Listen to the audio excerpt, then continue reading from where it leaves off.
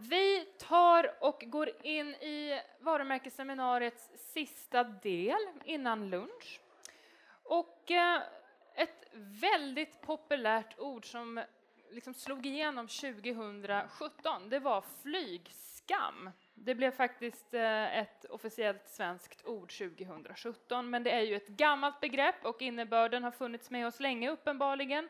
Om man ser sig om i tidningar, medier och opinionen känslan av att det inte är någonting som är helt rätt med att ta flyget. Och eh, vi ska prata om flygskam i den kommande panelen, men vi kanske snarare ska prata om behovet av människor att transportera sig och resa i Sverige och vad det innebär för den regionala utvecklingen.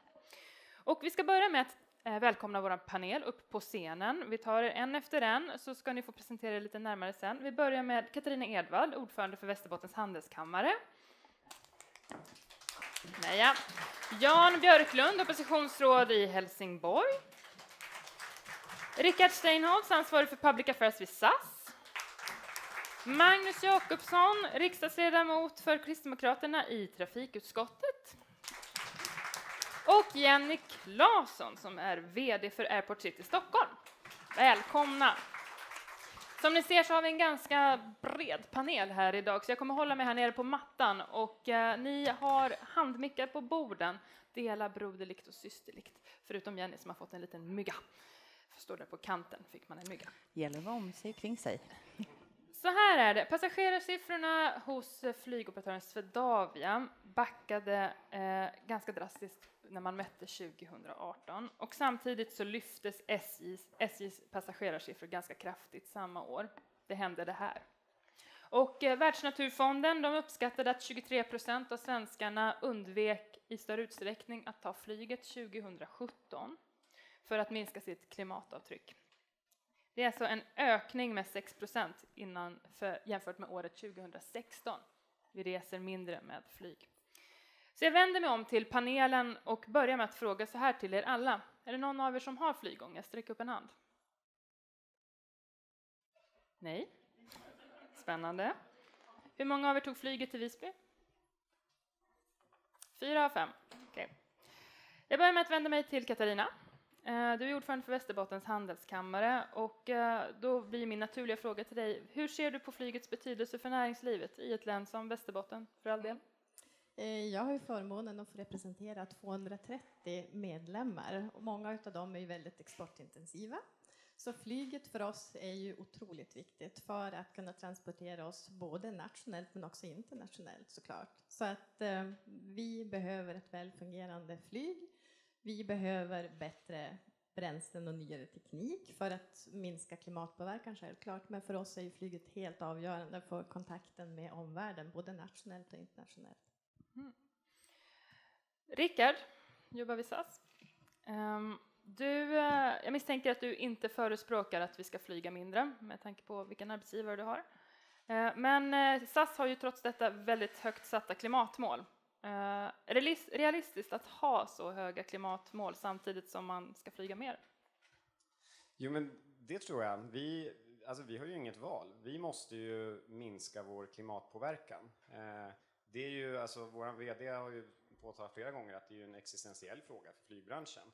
Ehm, och därför har ju vi varit tydliga med att ja, men vi kan välja att liksom börja nu och försöka liksom steg för steg ta vår del av ansvaret tillsammans med andra aktörer. Ehm, och eh, acceptera att det kommer kosta liksom pengar, det kommer kosta resurser. Ehm, eller vänta och spjärna emot, eh, som vi ser händer inom vissa andra delar av världen. Ehm, men då kommer, ju, då, kommer ju liksom, då kommer vi ju inte att kunna ha ett existensberättigande i framtiden. Eh, så att jag menar, vi har satt upp mål där vi pekar på flera olika områden, därför att vi vet inte idag. Jag var, vi var med i en diskussion häromdagen där man pratade om det här med liksom etanolbilar.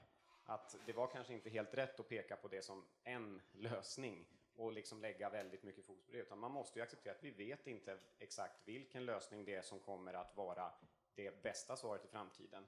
Eh, utan det handlar om flera saker som elektrifiering och biobränsle med mer. Och därför har vi satt upp de här målen för att visa att vi vill börja liksom redan här och nu. Okay. Ja, du äh, eh, kanske man ska säga är eh, lite, ni är lite speciella, Helsingborgs stad. Ni har slagit näven i bordet och sagt nu får det vara nog. Ni tycker att eh, era anställda ska faktiskt flyga mindre.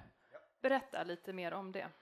Ja, jag skulle egentligen vilja börja med den första Mikrofonen frågan. högre upp, tack. Den första frågan du ställde om jag har flygångest eller känner flygskam. Ja. Nej, det gör jag inte. Eh, Jag flög hit, men däremot känner jag mig väldigt klimatsmart när jag väljer ett annat alternativ. Mm. Och jag tycker det är en viktig distinktion och det är egentligen det som också är utgångspunkten. Helsingborgs kommun har ju blivit årets miljökommun tre år i rad. Och det är ju ett, det är ett långsiktigt arbete där vi har jobbat över partigränserna. Och vi, vi är långsiktigt överens om det, så man kan säga att vi har en, en långsiktig politisk eh, hållbarhetsarbete när det gäller miljöarbetet och det är viktigt för oss. Och när det då gäller flyget så tog vi ett beslut om att inrätta en, eh, en klimatfond. Om man flyger eller åker med egen bil så fyller man på den fonden med 50 procent av vad flygbiljett och vad ersättningen är för att åka med egen bil. Och som då kan användas till, eh, till lokalt klimatarbete, till vi subventionerar exempelvis elcyklar och så vidare. Så att det är så vi jobbar med det och vi har fått ner flygandet med cirka 30 procentenheter. Och jag tar siffror från när det gäller Stockholmsresor, så 2016 så var 60 procent av resorna med flyg och eh, 40 procent med tåg. 2018 så var siffrorna i princip tvärtom. Det var 35 procent med flyg och 65 procent med tåg. Så det är en väldigt lyckad satsning för klimatet. För det här är ju en sträcka som med fördel man kan åka tåg istället för att ta flyget och på så vis vara lite eh, klimatsmart. Och jag har själv minskat mitt flygande med, med 50 procent. Och det känns väldigt klimatsmart när jag åker hem från Stockholm för då tar jag alltid tåget när jag flyger upp för det är nödvändigt. Det är beundransvärt, det tyder på ett tydligt politiskt ledarskap och det är mycket spännande. Men jag måste fråga, påverkar det ert beteende i Helsingborgs stad? För låt oss säga till exempel att eh, Skellefteå kommun arrangerar en väldigt spännande konferens om någonting som är viktigt för er. Finns det risk att ni måste avstå? Nej, men vi väljer klimatsmarta alternativ. Och det var inte möjligt att eh, ta tåg och bil hit, därför flög jag hit. För det var nödvändigt för mig att vara här Mm. och då var flyget ett bra alternativ. Så det är lite grann det är, att inte känna eh, flygskam utan istället kunna känna sig klimatsmart, att vi vänder det till någonting positivt. Spännande. Jag tror att vi kommer återkomma till Helsingborg, det ni har gjort. Jag, börjar vända, jag vänder mig till Jenny istället. Du jobbar ju då för Airport City Stockholm. Eh, Du får väldigt gärna börja med att berätta för oss lite grann vad det är för någonting, vad ni Eh. håller på med. Ja, ja varsågod.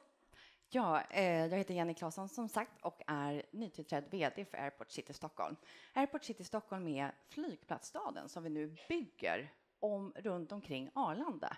Eh, om på tio år ska vi fördubbla antalet arbetstillfällen från 27 000 till 50 000. Eh, så det är väldigt kort om Airport City Stockholm. Mm.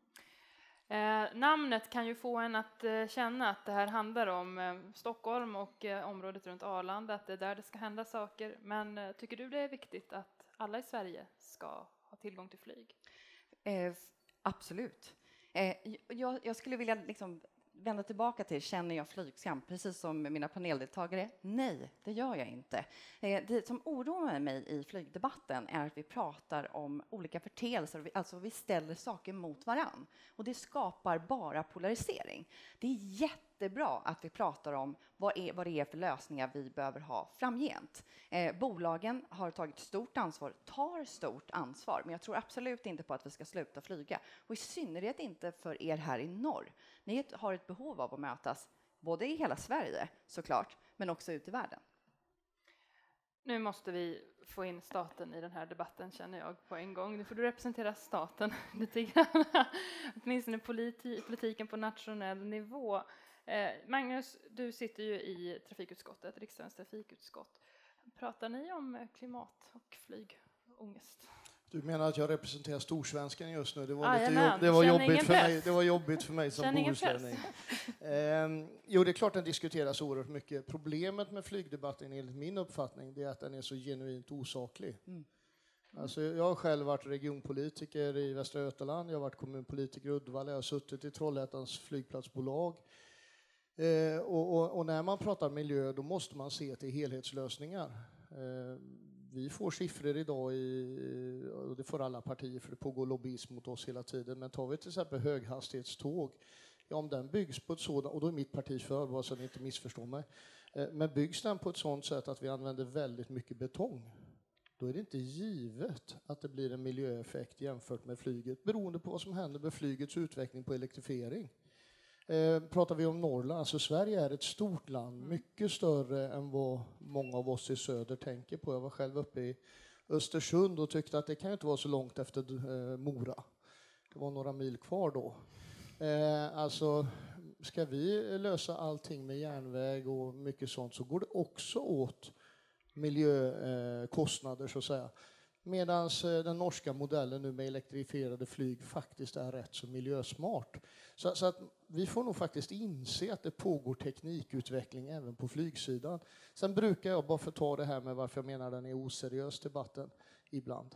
Jag har inte sagt att någon är här är oseriös, men själva allmändebatten. För jag, när jag är ute i skolor så brukar jag fråga så här, hur mycket eh, CO2 står flyget för? Jag har aldrig varit i en enda skola utan att gymnasieelever, och det är ändå, då studerar man ju rätt mycket, tror att flyget står för minst 50 procent. Och den faktiska siffran är 2-3 procent och lägger vi på höghöjdshöjden så brukar man säga 5-6 procent. Alltså, SSAB i norr släpper ut mer än hela svenska flyget. Eh, Scanraff hemma hos oss, det heter de inte längre, men alltså oljeindustrin släpper ut mer än det svenska flyget. Eh, så det är, jag känner verkligen ingen flygskam, men då åkte jag bil och färja hit för vi åkte kollektivt några stycken, vi samåkte.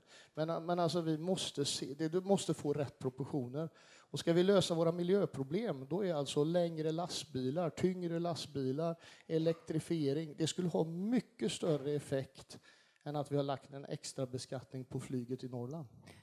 Men ni som ändå är, du som är politiker och du som sitter ändå i ett utskott, utskott i riksdagen som förvaltar frågan, vad kan ni göra då för att eventuellt uppmuntra den här utvecklingen som du pratar om, till exempel då energiutveckling och klimatutveckling kopplat till transporter? Ja, dels är det ju så att vi inte alltid är helt överens på för vi sitter alla i riksdagen, men Eh, det finns grejer vi är överens om och så finns det grejer vi inte är överens om. Tar vi flygskatten så är vi inte överens. Eh, mitt parti tillhör de som säger att det är en beskattning som tyvärr har liten miljönytta, för de flesta som flyger gör det antingen för att man måste, alltså det är i tjänsten, eh, man har långa avstånd, eller så flyger man för man har samlat pengar och ska äntligen få åka på sin semester. Och då påverkar inte den beskattningen så jättemycket. Väl medveten om att i år har vi sett en skillnad och, och, och SJ har gått upp, men, men det där ska vi bli spännande att följa. Däremot, de här stora systemen, om vi kan elektrifiera dem, så, alltså, ungefär som fjärrvärmen en gång i tiden. När vi byggde upp fjärrvärme, det gjorde vi på grund av en oljekris. Men det är ingen idag som kommer på tanken att nej, jag ska nog sätta in en oljepanna istället för en fjärrvärmeanläggning i Stockholm eller i någon annan av kommunerna som har fjärrvärme. Så jag tror att vi, vi behöver, vi, och, och där är vi mer överens. När vi kommer till de här stora systemen så hör jag faktiskt inget parti som inte säger att jo, men vi måste faktiskt ta itu med de stora utsläpparna. Och SSAB var jag på ett eh, seminarium där de berättade att de nu funderar på att jobba med vätgas till masugnen, bygger en testanläggning. Lyckas de, då är deras effekt av deras investering dubbelt så mycket som hela flyget i Sverige. Så att vi måste jobba där problemen också är riktigt stora, inte bara där problemen upplevs stora. Om vi går till er tre som inte är politiker i den här panelen, Rickard, Jenny och Katarina. Ni hör vad, det är lite olika aspekter här från de två politiska företrädarna, hur de ser på den här frågan och vad de vill göra och vad de kan göra. Tycker ni att det känns bra utifrån era perspektiv när det kommer sådana här tydliga direktiv från politiskt håll som påverkar den här frågan så pass mycket? Är det den vägen vi ska gå eller tror ni snarare att det finns en marknadskraft som kan driva den här frågan framåt? Vem som helst. Rickard? Eh, den är på. Nej, men eh, eh, först och främst så tycker jag att det är väldigt bra att man, att man får sådana här tydliga politiker, alltså när man, att vi har politiker som själva pratar om sitt eget resande och utifrån det pratar om liksom kommunens resepolicy och så. För det som, det som vi är oroliga för, det är ju lite kopplat till det som, det som Magnus sa om, om, om liksom helheten. Att det, det, är ju lätt att, vi får, att man får liksom flygpanik snarare och att man ska göra någonting snabbt. Eh, och, och vi sitter ju ibland med kommuner där vi Å ena sidan så säger man att flyget är betydelsefullt. Vi måste ha flyget för att vi, vi ska kunna ha liksom näringslivet och besöksnäringen ska kunna, och, och, och släkt och vänner och hälsa på. Eh, men sen har man en annan del av kommunen som inför en resepolicy som inte, som det låter i Helsingborg, då, men som snarare eh, liksom exkluderar flyget och, och då gör precis det här du säger, att man inte kan åka på de här. Eh, och där vill ju vi som bolag möta kommuner, regioner och riksdag och regering för att prata om det. Hur kan vi tillsammans titta på en sån här grej som en resepolicy? Vad kan ni kräva av oss som flygbolag? Därför det är ju också så att eh, allt flyg är inte samma. Mm. Det finns olika liksom utsläpp och det finns olika, och det finns olika sätt att genom flyget klimatkompensera för sina resor. Och där vill vi liksom mötas tillsammans för att inte hamna i en situation då man sätter trafikslag mot varandra. Eh, jag eh, pendlar ganska ofta upp till Sundsvall där jag har familj, mellan Sundsvall och Uppsala. Eh, jag skulle inget hellre än att åka tåg varje gång, för det är utan tvekan det bästa för mig och, och, och klimatsmart. Men, men, så har vi ett problem, att man har en sträcka på eh, mellan 20 och 30 mil där det är enkelspår. Och det gör att flyget fortsatt får en mycket viktig roll på den sträckan. Men som, fly, som, som flygbolag är ju vi tydliga med att det vi ser framför oss, framtiden, är ju en ny karta där vissa sträckor inte kommer trafikeras av flyget. Eh, men samtidigt så får vi vara ärliga med också att den dagen det finns ett dubbelspår på den sträckan eller där Botniabanan är helt fullt liksom utbyggd, eh, då kommer vi också ha en helt ny typ av flyg. Mm. Katarina, du företräder ju ganska många medlemmar eh, inom näringslivet. Hur Finns det oro för när politiken lägger sig i de här frågorna för mycket? Mm, det tror jag att det gör fläckvis. När man pratade ja, flygskatter så var det ju lite panik naturligtvis här uppe i norra Sverige. Kanske på ett annat sätt än det var i södra delarna. Så, så att det är klart politiken har en, en viktig uppgift. Och ibland kanske man också måste kika lite grann på var man befinner sig rent geografiskt. Det kanske inte kan se likadant ut i den norra delen som i den södra. Och det kanske, man kanske måste ha regionala lösningar för att inte skrämma livet ur en del av de här bolagen som är helt beroende av, i våran del i alla fall, av att flyget är välfungerande och till en rimlig peng. För annars så får man styra om vissa delar av tankar kring marknader och det, alltså, det får otroligt stor affärspåverkan. Vi hade ju också några bolag som räknade på eh, med lite olika typer av skatter, både kopplat till flyg och kopplat till ja, kilometerskatter och det får ju förödande konsekvenser för deras lönsamhet. Så att det här är ju, eh, tror jag, mer eller mindre viktigt beroende på vart i landet man befinner sig. Så politiska beslut är viktiga och de kanske ibland också måste vara regionala och internationella. Och här krävs ju då starka regionala politiker som vågar ta strid eller strid, som vågar mm. diskutera de här frågorna eh, på en, en ganska intensiv nivå. Ja. Så att eh, det landar rätt, tänker jag. Jenny hoppar på kanten. Ja, jag känner hur jag liksom, jag har politikern här bredvid mig. Eh, jag vill eh, hänga an lite på det du pratar om och eh, se till affären och affärsutvecklingen. Ibland i den här debatten så har vi faktiskt glömt bort att det är företagen som bringar intäkter till Sverige. Det är företagen, jobben, som bringar intäkterna. Och om vi står i ett läge där eh, Norrlandsregionen nu tappar tappar företag, det betyder att tappar ni alla de intäkter som ni behöver för att liksom understödja och bygga välfärden. Det tycker jag är viktigt. Det andra tycker jag, som vi missar i den här debatten, det är mötet. Och jag är fantastiskt stolt över att jag står här i Almedalen idag, för det är väldigt få förunnat. Det här är en, en av Sveriges största mötesplatser under en vecka i, i juli. Eh, så att mötet mellan människor kommer bringa nya tekniska lösningar för flyget, för industrin och för bygg. Det är inte så att vi står här och pratar till exempel om att ska jag sluta bo någonstans? Vi ska sluta bygga bostäder. Ska jag sluta ha kläderna på mig? Och ska jag sluta äta? Den debatten har vi inte. Det, det gör mig bekymrad att vi har minimerat Agenda 2030 och de globala målen till en fråga och det handlar om flyget. Det är så rätt, lätt att tala till känslor istället för att koppla på förnuftet. Mm. Magnus? Jag är nog en lustig politiker på så här, för att eh, de här två terminerna nu i riksdagen, jag kommer tillbaka, jag satt där 98 till 02 också, så eh, jag tror jag har flugit hem från Stockholm fem, om jag säger tio gånger så, så har jag nog inte underdrivit i alla fall, eller överdrivet. Eh, resten åker jag tåg. Uddevalla har jättefantastiska förbindelser. Tåget går exakt 5.27, jag är uppe 9.30, första mötet är 9.45. En gång har jag varit försenad, en gång har jag varit inställd. Alltså, har det hur bra som helst. Men jag gjorde studiebesök hos Karlstad, pratade med dem.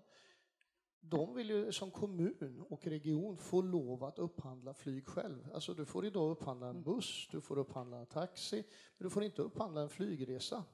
För så ser regelverken ut. Varför vill de upphandla flyg? Jo, de har företag i Karlstadregionen, även på universitetet, som samverkar. Jag tror det var Frankfurt de ville ha en direktlinje.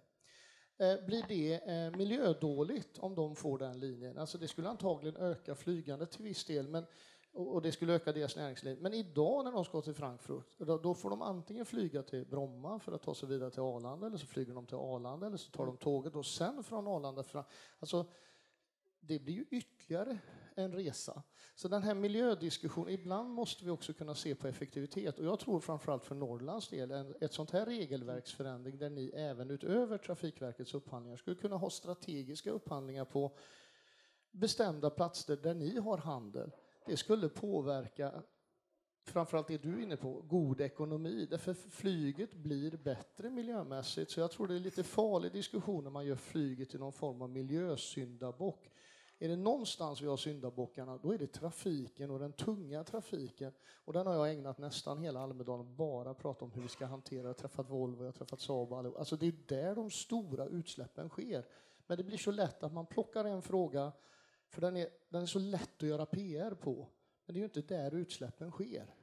Men eh, då på en gång, eh, vi pratar här nu om förutsättningar att ändra på sitt beteende och mm. välja klimatsmarta alternativ. Helsingborg, det är ju som jag sa tidigare beundransvärt det ni gör ändå, och det är ju trevligt att höra att det ger resultat. Men eh, ni har ju tillgång till många transportslag och många kommer större, ett, alltså ett utbud av kommunikation i större utsträckning än vad många kanske har. Och du berättar att du har tagit tåget hem fler gånger än flyg. När det inte finns ett tåg, tror ni att vi måste liksom postnummerrelatera den här debatten en smula? För så är det ju, att förutsättningarna ser ju väldigt olika ut. Till exempel, man bygger en klimatpolicy för en kommun. Är det okej okay att den ser annorlunda ut på ett ställe där man saknar ett utbud? Vad tror du? Ja, men alltså, för det första, så, jag vänder mig lite grann mot debatten här. För, men, det finns liksom inte någon global skorsten som vi ska stänga så löser vi problemen. Utan klimatarbetet är här och nu och det handlar om att göra en förflyttning. Och vi hade inte blivit årets miljökommun tre år i rad om inte vi hade ställt krav och satt tydliga mål på ändrat beteende. Och det är därför vi har blivit årets mm. miljökommun tre år i rad. Och, och, och, vi kan inte ställa de olika liksom, klimatbovarna mot varandra. Utan flyget måste ju också tåla den här debatten. Den blir väldigt polariserad på en gång. Mm. Och det kan jag vända mig lite grann om. För det är väl positivt att vi har den här debatten. Att flyget blir konkurrenskraftigt mm. och blir mer klimatsmart. För även jag vet, jag läste någon siffra att drygt 20 procent av exportvärdet, och Sverige är beroende av export, mm. är beroende av att vi har ett fungerande flyg. Mm. Och det här är inte bara ett, ett, ett landsbygdsproblem. Vi har en flygplats, Ängelholm Helsingborgs flygplats, som idag har lönsamhetsproblem. Och skulle den flygplatsen läggas ner så skulle det innebära jätteproblem för Helsingborg. Vi har redan förlorat huvudkontor till Malmö för man säger att man vill ligga nära en internationell flygplats. Så även Helsingborg som med en timmes radie med, med, med kommunikation når fyra miljoner människor. Men vi har också problem med vår flygplats. Så den är viktig för oss också. Men flyget måste definitivt tåla den här debatten. Tål ni debatten, Rickard? Jo, men det tycker jag. Eh, och jag menar, vi, eh, jag är väldigt glad, eh, som vi pratade om, det här mötesplatsen i Almedalen. Vi eh, funderar ju på ja, vad, vad, skulle vi göra här i år? Ska man liksom, eh, vi har ju, när vi pratar med internationella branschkollegor så, så har ju vår VD haft ganska svårt i internationella sammanhang att få med sig alla andra länder och de andra flygbolagen, för de tycker liksom att ja, men så. Men, men efter hårt arbete så börjar ju de andra nu komma ikapp och inse att så här, ja, men det här, det här kommer, det, vi måste ta den här diskussionen. Mm. Eh, och det är just av den anledningen som vi är här och som vi har haft i princip hela SAS ledningsgrupp här för att prata om de här frågorna. Och, jag, och vi vet ju att eh, Eh, vi har ett jättejobb att göra med att, att kommunicera och prata om vad är det som görs idag. Därför det blir lätt att det antingen handlar om liksom elflyg 100% eller 100% dåligt, men så är det ju inte. Jag menar, vi investerar 50 miljarder i en ny flygplansflotta. Det är bra för att det blir finare plan för passagerarna, men det handlar ju om att med hjälp av ny teknik redan här och nu sänka bränsleförbrukningen. Och där vill vi ha dialog med lokala politiker och regioner och även riksdag och regering för att se hur kan vi jobba tillsammans för att sätta politiska mål som faktiskt syftar till att uppnå resultat och inte fastna i det här att man ska ta snabba beslut och införa liksom skatt på skatt på avgift som till slut gör att, att vi inte kan verka som, som aktör i Sverige. Mm -hmm. Så den här frågan är jätteviktig för oss och vi vi, vi, har mycket att göra för att som sagt kommunicera vad är det som vi redan gör idag och vad är det för politiskt stöd vi behöver. Men eh, just det här att, att, eh, faktiskt titta på hur Sveriges regioner ser ut. Vi hade ju en strejk i, i våras här eh, som, som blev jättetuff för, för väldigt många. Eh, och, och, och, där såg vi att det kom, liksom, eh, eh, tittade man på Stockholm så fanns det ju snabba alternativ och även nere, liksom, nere i söder. Eh, och så kom man upp till Skellefteå då rubriken mm. i tidningen blev liksom Skellefteå avskärmade från omvärlden. Mm. Eh, för det är ju många riksdagspolitiker, eh, utan att peka på någon, som, som faktiskt inte vet om att stora delar av Sverige också saknar tågförbindelser. Ja. Eh, och därför känner vi liksom att vi vill inte ställa transportslag mot varandra, vi vill heller inte ställa utsläppsslag liksom, mot varandra, utan vi vill jobba tillsammans för att se hur kan vi resa smartare och hur kan vi se till att vi även i framtiden har ett svenskt flyg. Vad säger du Magnus? Du ställer en spännande fråga om differentiering, men jag vill också kommentera min vän från Helsingborg. Om jag nu har uppfattat att inte, inte flyget ska ta sitt ansvar så vill jag tydliggöra det. Min reaktion hänger ihop med rubriken. Och jag tycker rubriken är väldigt bra därför det är väldigt mycket så som den allmänna debatten är, nämligen att flyget är en stor syndare. Och jag då som jobbar med infrastruktur måste ju givetvis försöka jaga CO2-utsläppen där de är som störst. För vi har nämligen tagit beslut om att vi ska ner med 70 procent till 45. Och då blir det konstigt om vi lägger mycket tid på det som har förhållandevis lite utsläpp och så lägger vi väldigt lite tid på exempelvis lastbilstrafiken som har stora utsläpp. Och, och, som politiker måste jag tyvärr faktiskt jobba med flera grejerna på riksplan. Sen, sen när det gäller din fråga om differentiering. Mm. Ja, alltså nu har vi ju i riksdagen en linje och det beror på att det är enkelt. Vi höjer bränsleskatterna på bilar, det drabbar enskilda. Vi lägger på skatter på flyg, det drabbar enskilda. Men det har väldigt lite miljönytta. Alltså bilen, folk använder den i alla fall och vi kommer att ha ett seminarium eh, på lördag som handlar just om det här att kan man hitta en annan bränslebeskattning därför det blir inte heller rättvist över landet.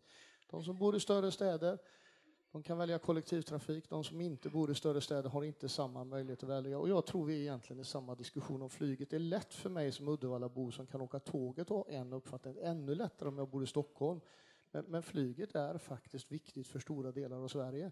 Och då kanske jag hamnar på er sida lite då, men jag menar inte något illa med det. Men vi måste klara av flera bollar i luften samtidigt.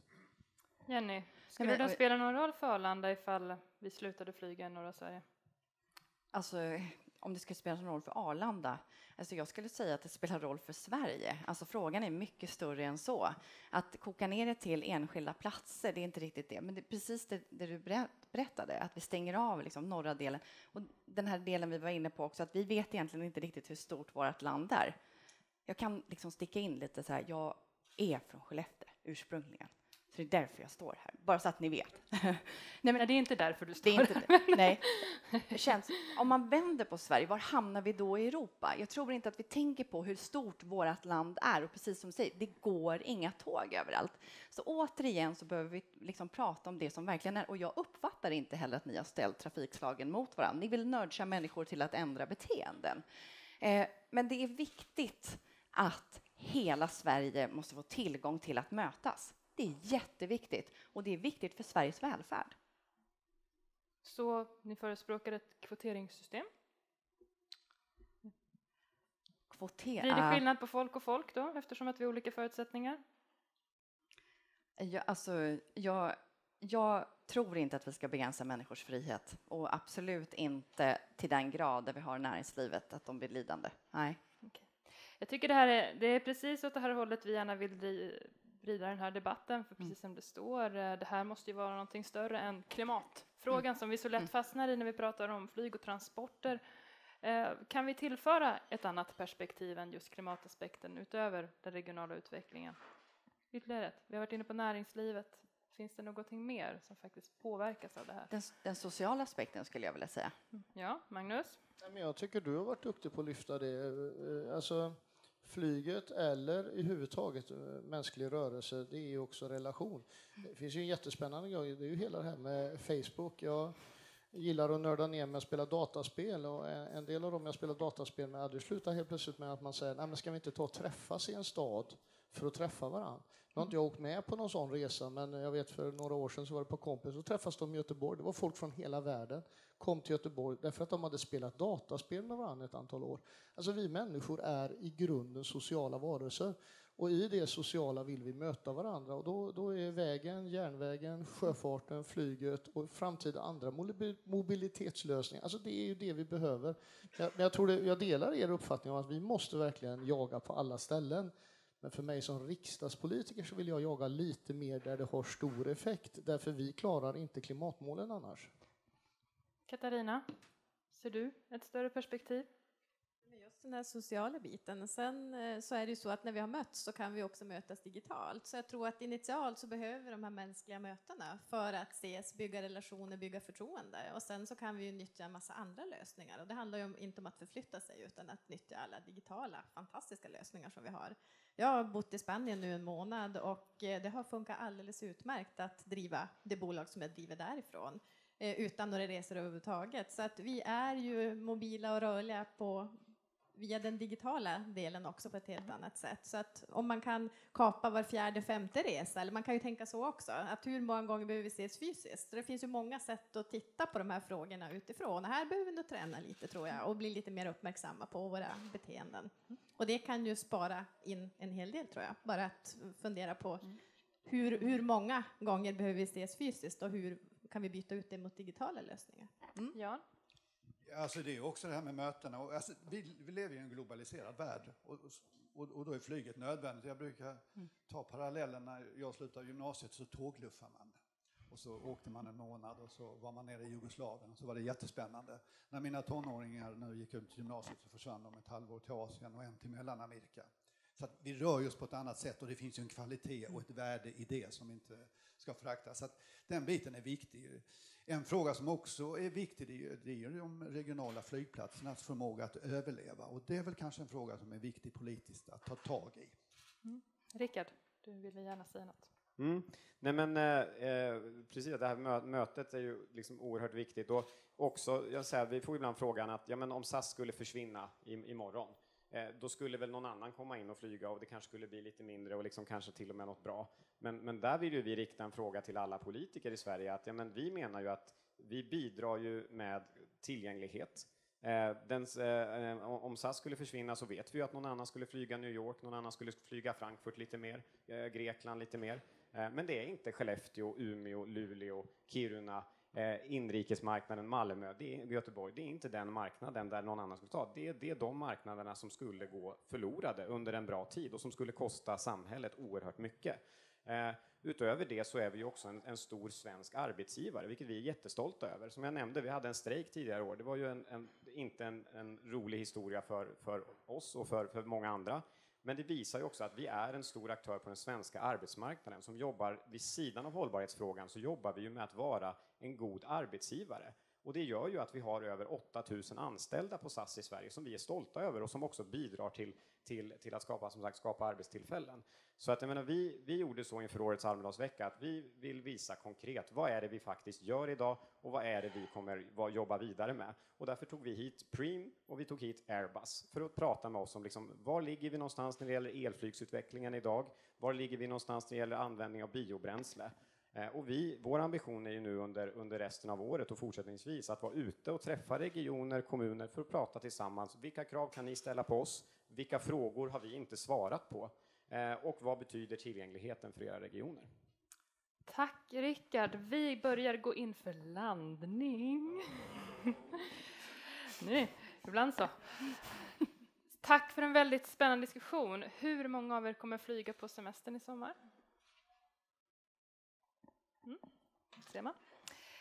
Tack ska ni ha. Tack till publiken som har lyssnat så duktigt